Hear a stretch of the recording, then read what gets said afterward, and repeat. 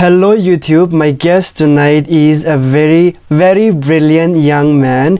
He was Mr. Kohima 2019. Please help me welcome Mr. Kevin. Hey Kevin. Hey Zaren, how are you? I am doing good. How are you? Doing great. Yeah, can't complain. Yeah.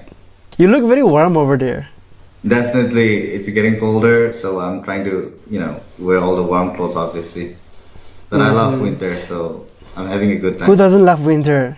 Um, some people, but definitely not me. Yeah. Uh-huh, uh-huh, truly. Uh, this is your first time here. Welcome to the show. And are you nervous by any chance? Definitely, I, I, I'm gonna say that I'm nervous. Honestly, Mm-hmm. yes. Don't worry, we'll have a will see, really yeah. chillax one. I'll just make sure that you don't get scared. Yeah. Please make sure that. Yeah. I will. So the holiday seasons are here. What are you up to these days?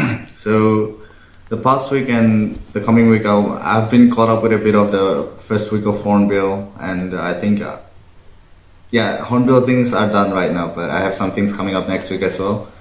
But other than that, it's been going pretty well, and I've been having a great time. Um, this festive season, obviously, you know, Hornbill is happening. i I've been going out, meeting great people, doing some stuff. So, yeah. it- you are a very busy great man, week, yeah. aren't you?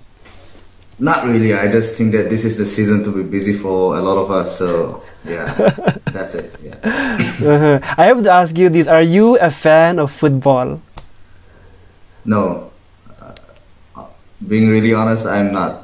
But I'm watching the World Cup with my family. That's a sure thing. Um, yeah, I have. I, I have never grown up playing foot. I have grown up playing football, but I haven't played an official match ever in my life. So, Mhm. and I don't know how to play it anymore. I am not aware of a lot of the rules and regulations. So, Mhm. I'm not a fan of. If I may ask you, watch it, yeah. if I may, if I may ask you, who are you supporting this World Cup? I'm just supporting the best team. Yeah. Um, I don't have favorites, honestly. No. Um, hmm I was supporting the Asian countries, obviously, and they did pretty well. And uh, now it's up to the best team. It's up to, To win. yeah, may the best team win. hmm Truly, you were Mr. Kohima 2019. How was that part of your life when you were Mr. Kohima? It was one of the greatest times of my life, I would say. Yes, uh, I reigned for three years since my victory, uh, my you know, winning in 2019. They did not organize it until this year, so I think I reigned for three years, if my math is correct. Um, so yeah, it would be one of the greatest times of my life. I would say it's been a little tough over the past three years as well at moments, but you know that's life. So there's that. I tried to, I tried my best to do, leave something good for with the title that I had. I tried my best, and uh, I did a couple of things, and I just hope that, you know, it even made the life of someone, even if single, if it made the life of a single person better, or if it made someone happy. Um, I think I'm happy with Mhm. that. So yeah, Mhm. I would not trade this experience, these three years, for anything else. hmm What did you take away from the competition? I'm gonna say a lot of confidence. Growing up, I was a shy kid. Obviously, um, I'm not. I don't know if it's obvious right now, but I was a shy kid. I did not have a lot of confidence, but yeah, a lot of hap- a lot can happen when you open up yourself to opportunities, opportunities, and uh, you know try to go forward with the things that are given to you that you have right now. For example, the opportunities, the opportunities that you have right now. I feel like once you start taking those, you find your way eventually. So yeah, I definitely a lot of confidence and a lot of great friends, and yeah, a lot of optimism about life and opportunities as well. Um, I had my share of you know doubts and uh, moments where I did not want to you know do these things anymore, but I did some stuff and I'm happy about the whole journey in its entirety and uh, no regrets. hmm So Do you still remember the winning answer you gave? my winning answer. Yes. Uh, yeah, I I do not remember it quite well, but I think I remember enough to say a little bit about it. So the question was, what would you do if you won the title? I think so. Mm-hmm. We were given these cardboards to write on. We weren't verbally answering the question, but we were write. We had to write it in a few seconds. So I said something along the lines of setting an example in whatever I do to be a good person to everyone around me, to people around me. Just set a good example. Um, yeah, and I remember it because I did mean it for my heart, and uh, you know, as lim- as many limitations as I, I, as I have as a human being, I feel like the best I could do and the least I could do was be a good example to people around me in whatever I do. So, and I hope I did that. So, you truly did. I know you did. Thank you, thank you. I hope so. Mm-hmm. Um, what made you compete for Mr. Kohima 2019 back then? So, back then I didn't initially plan on going for pageants. I never really even thought about it growing up. I think I did not. But anyway, uh, fast forward to college, um, I started off as Mr. Fresher for the Angami community in my college, and uh, that's where it all started. Um, one of my classmates forcefully, obviously, signed me up for it, and uh, I won, and I got a little bit of confidence boost from that. And uh, a couple months later, one of my lecturers uh, urged me to participate in Mr. Zumex, which is an inter-college pageant, Mr. and Miss Zumex, which is an inter-college pageant organized by Nagaland University. And so I participated there and thankfully I won. And from there I got the direct entry into Mr. Kohima. So yeah, for me the journey has been quite progressive until Mr. Kohima. So um, yeah, what I learned from that especially is also that once you start taking an opportunity, there's always another opportunity waiting for mm-hmm. you. So yeah, one so thing led from another to another. started. Yeah, that yeah, definitely. That's how I started. Ended up in Mr. Kohima. Yeah. Mm-hmm. And this year you were on the judging panel. How was that experience like? So yeah, um, it was quite exciting, and it was a little bit of time for me to reflect on the journey that I've had as well over the past years. Um, I was on the other side of the table at one point of time, and now that I am thankfully on the other side, um, I, it was refreshing and it was it brought a lot of great memories and flashbacks about my time as well, and it was so inspiring and I was so impressed to see all the talents and the enthusiasm of, of all the contestants this year. So I definitely had a blast uh, doing what I did with them in their Mr. Talent subtitle this year. Yeah. I'm sure you did. Did you hope to win back then? Uh, definitely, yeah. I, I did hope to win. It's the ultimate prize for all the uh, ultimate goal for all the contestants. But I did not mm-hmm. expect to win, honestly. Uh, I I'm because a lot of my co-contestants were also really good. So yeah, I did not expect to win, but I remember thinking to myself on the finale night that I this has been a great journey. This has been a great experience, and whatever happens, I would not trade it for anything else, regardless of whether I win or lose. Um, so that was what I remember thinking, thinking to myself, telling myself before the uh, on the night of the finale, and uh, it ended on the best case scenario for me. So. Mm-hmm. Yeah. And you had a blast. I had a blast. The evening was a blast for you. yeah, it was such a great night. Yeah, yeah. Mm-hmm. How do you think all these experiences has made you grow personally? Personally, I think it has definitely been a huge played a huge role in building up my self confidence as well. I think growing up, I was not the most confident kid. I was a bit shy and I was timid. Yeah, so now I definitely can say that I have grown a lot since then. Um, and mm-hmm personally it has helped me reflect on a lot of th- uh, reflect on myself on a lot of things as well uh, in terms of obviously like i said my confidence and in terms of just being humble and yeah not getting not let, letting things get to your head because at the end of the day we're all just trying to figure a lot of things out in our own lives as well so yeah mm-hmm. i think it has also helped me a lot in my personal life as well yeah I'm sure it has. Um, how do you think the pageant world in Nagaland has changed, in your opinion, if you have any? So I think back in my time, I mean, pageants like Miss Nagaland for the ladies, uh, has, they have always existed um, for a long time. But I think for the guys, I think it well, we were like around the second batch. I mean, maybe there were a couple back years ago, but I think 2018 and 19 is when it started to really pick up again for even for the male uh, guys in pageants and. Uh, yeah, it was a bit it was a bit of a fresh thing for us because we have not we had not witnessed things like that pageants for men like that back uh, growing up. So yeah, I it was quite a new thing for us, and so far there there, there have been a lot of pageants uh, ever since then. From maybe 2018 to till now, I think there has been a lot of mm-hmm. pageants that we have witnessed. So it's a good thing to keep the industry growing, I guess, in Nagaland.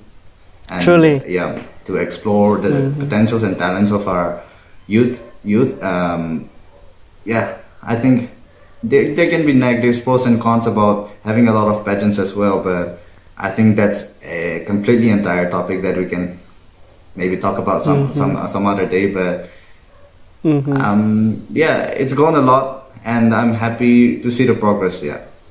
I suppose it has. What do you think we should do more to have such pageants? Okay, um, I feel I'm a huge believer in quality. Um, you know, just because you organize an event does not mean you have done it successfully. If you get what I mean. Um, I do. I do. You have to be genuine. I think. I believe um, when you are trying to organize an event like that, it has to a lot of organizers should also uh, self-reflect on the why as to why they're doing the pageants as to why they're organizing these pageants. Obviously we can't not, nothing is for free in this world so you have to be very careful when you're i feel like organizers have to make sure that they're also living a positive impact in the lives of all these young kids and also in their own lives as well. So I feel like this pageant has to, pageants have to, you know, impact the lives of the organizers, the, the public, and the mm-hmm. contestants all equally positively. So yeah, I it think, has to come yeah, from the heart. We have yeah, it has to come from the heart, and it, we have to find that balance where the pageant, where pageants are, you know, equally contributing to positively in the life of all these parties involved, you know, the contestants, the public, and the organizers. So yeah, I think uh, that's what truly, I would say. Truly, mm-hmm. What do you want to achieve in life, Kevin? that's a deep question, Colin. yeah, yeah. Um, in life, I've I've been thinking about it a lot lately, and. Uh, I am not the proudest to say that I have not figured it all out yet, figured it all out yet. But I think all of us, none of us has it all figured out, you know, if you know what I mean. So mm-hmm. I'm tr- just trying to trust the process and, uh, you know, doing my best in what I think is for me. And I feel we're only getting older, but I feel like I'm still young enough to make mistakes and learn from those mistakes. So yeah, I just want to be someone who is who has in the future. I just want to be someone who has been proud of his journey, proud of the things he has done, and uh, you know, uh, be be a man of wisdom as well, and uh, yeah, someone who has done his best in all the things that he's tried. So yeah, mm-hmm. that's what I want to be in life. I feel mm-hmm. at this moment. I ho- yeah. mm-hmm. I hope you get to achieve great things. I hope honestly so for Thank you. you. I wish the best for you. Yeah, and likewise. All right. Yeah. You also sing, right? I do. um, I'm just. I would say I'm just like more of a bedroom singer than a professional singer, but I do sing. Um, I sing in, in my church a lot as well. So that's why I obviously grew up singing in church, and I still do. And it's one of the best feelings to be able to sing in your church. I feel. It is, yeah. it is. And I must say that you have a really deep voice. Aw, I've heard Thanks, some of your songs, so you cover songs. I appreciate it. I appreciate it. Yeah. It's really nice. hmm Do you think that you will ever take singing as a full time career? As of the work that I'm doing now, um, looking at the work I'm doing now, I don't think singing will become a full time because it is not my main focus right now. But I would love to be able to sing for the rest of my life as well. You know, regardless uh, whether it is uh, either it, it, even if it is like a part time thing. But Mhm. yes, I would mm, I would love to sing for the rest of my life. Yeah. Will we ever see you compete in pageants again? Yeah, I don't like. This is a hard question that I get asked a lot of time, but my mind could change in the future. Obviously, because we're always changing. Our minds are always mindsets are always changing. Our opinions are always changing. So constantly, um, I don't think right now I will. I'm not planning to participate in further pageants. I had a great time doing pageants. Um, and I feel like I believe that I have to firmly believe in myself for myself to put myself out there again and go further even in anything be it pageants or anything else and right now in pertaining to pageants I don't honestly I don't believe in myself enough as as harsh as that sounds I don't think I will be going for pageants right now but anything can happen in the future so there's always that possibility as well. But right now, I don't plan to. No. Mhm. Yeah. You know, I do hope that you compete in at least one more pageant or something. I mean, I kind of miss the thrill and the adrenaline that you get when you're participating in these pageants as well. hmm So we'll see. We'll see. We'll see. Yeah. hmm Hopefully, yeah fingers hopefully. crossed. Fingers crossed. Yeah. um, we'll five years down the line from now, where do you see yourself in your life? So I hope to have a master's degree finished. Um, I hope to be a person, uh, a person who is obviously proud of his journey and proud of his achievements, and uh, well, someone who is well educated and ready to face the next ten years of his life. Mhm. So I think that's it. Yeah, I just want to be someone who is proud of his journey and someone who is ready to take on the years that are coming my way as well. Yeah. hmm Hopefully, five years from now, you have it all figured out and will achieve great things. Yeah. I don't think we'll ever have it all figured out, but I have. I hope to have some things figured out. Yeah. hmm Hopefully, hopefully. Hopefully. I have to ask you this. What is your New Year resolution? 2023 is almost here. Yeah. Um, I have always wanted to become a morning person, so Hopefully, next yeah. year. yeah, because over the past year, I think my sleeping habits have been pushed so far that I wake up really late these days and I sleep late. So I would definitely like to wake up more early, and I think that'll impact my life positively in a lot of ways as well, including my discipline and make me more productive, hopefully. So that's my New Year's mm-hmm. resolution. I wish you luck in that. Thank you, Kevin, thank you, yeah. honestly. I wish, yours uh, yours comes true as well. Your resolution, whatever it is, yeah.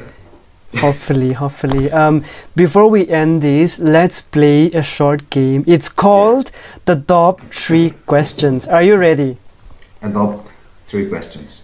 The top three questions. So what am I supposed to do? So you, you just have to answer my questions. Okay. All right. Here we go. First question, okay?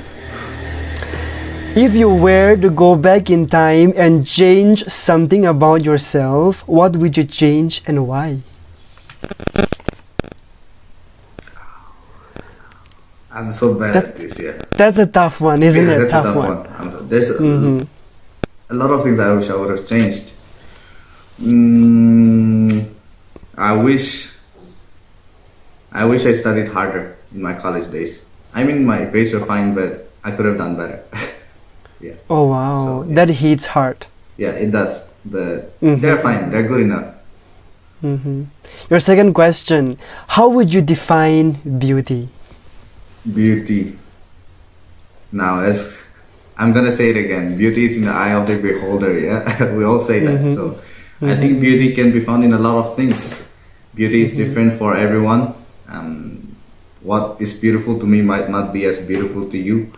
So I think beauty is something that makes you feel good and makes you, you know, makes your mood better. So it's in the eye of the I feel, beholder. Yeah. I feel like that's a winning answer, don't you think? I don't know, but uh, it's been a bit. It's been a long time since, since I've been in a, in a situation like this, so I'm a bit rusty. I hope you don't mind. I don't Yeah. mind. Your last question. Yeah. What is the most important lesson you've learned in your life and how would you use those lessons to become better? so, okay, the most important lesson I've learned in my life is that just give it time. You know, um, regardless of whatever you go through, regardless of however you're feeling in the moment, um, you might be going through something, heartbreak, um, loss of a loved one, anything that hurts you really badly, deeply. I think if you give, give it enough time, you're definitely gonna get stronger. Um, doesn't mean you have to move on, but you're definitely gonna get stronger. You're gonna learn a lot more, and uh, just give things time you know, it doesn't have to be a hard time as well. You just, uh, regardless, whatever you're doing, just give it time. Have some patience. You're gonna see see the results of being patient and waiting for the waiting waiting around. I don't know if that made a lot of sense, but It that's does. the best I can do in the moment right now. Yeah. I feel like you just have to get back on the game, Kevin. I feel like all those answers were a winning answer. Ah, I don't know, man. I'm trying to convince you here, like right now. Yeah, yeah, I can see that, but we'll see, man. You never know what can happen. Uh-huh. Thank you so much for being here. I honestly loved having you. Okay, I had a great time. What about It's been you? a pleasure, Zaren. And I I will just take this time to thank you as well. It's been an honor to be on your show. And personally, I've been I think we've been following each other for quite some time over the years. And um, I have to commend you on your work ethic. I respect you so much, man. Seriously. Um, you know Thank the you. way that you are determined in what you are doing right now with your talk show, and even in life, you are such a positive person and i know you try to be the best version of yourself every every day and i can see that and uh, yeah I, I have so much respect for you so i hope to catch up with you sometime and uh, yeah it's been a great night. Hopefully. Thank you so much for saying such kind words. Honestly, I, I it has mean it. just made my night. i'm glad it did Mhm. it makes your life as well Hopefully, one day we'll have a sit down like this again Yeah, once yeah, more. we- we will- I'll be shall. watching you honestly. Okay i'll be watching you as well man yeah. Thank you so much and have a great night. thank you thank you